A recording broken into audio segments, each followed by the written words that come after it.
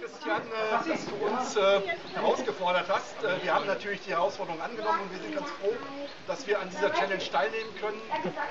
Die ALS-kranken Patienten und äh, ja, wir freuen uns und äh, bevor wir beginnen, müssen wir noch ein paar Nominationen tun. Drei darf jeder tun. Karl, wen nimmst du?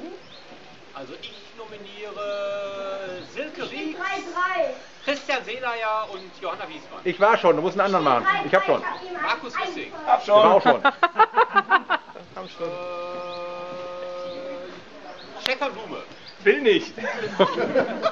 Ich nominiere ähm, meinen alten Freund Peter Kansi, dann Peter Jäger aus der SW Schweiz und Reinhard Abke in der Conterra.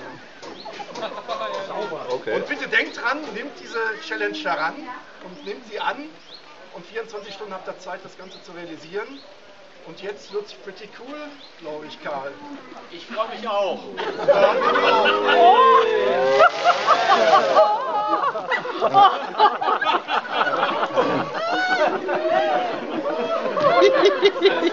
Perfekt.